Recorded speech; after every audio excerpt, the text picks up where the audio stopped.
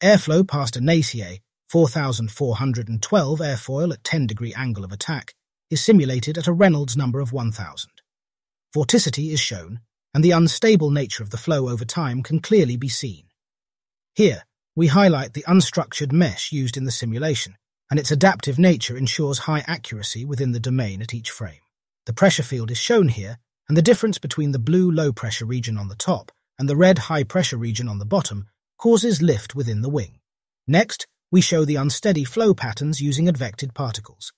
We can show randomized particle locations to get an overall picture of the flow, or we can show more tailored streamline-like particles to observe more details in the fluid motion within the airfoil's wake. Here, we also highlight the vorticity to get an even more detailed picture of the flow. In this new simulation, we apply slip conditions on the airfoil's boundary to negate the effect of the boundary layer within the flow. Under these conditions, the airflow is much more stable, as can be seen in the streamline-like particle motion here. No unsteady wake is present.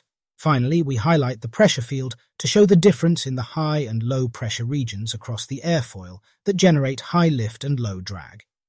All of these simulations and visualizations were carried out using the Digital Dynamics Studio from Digital Rocket Science.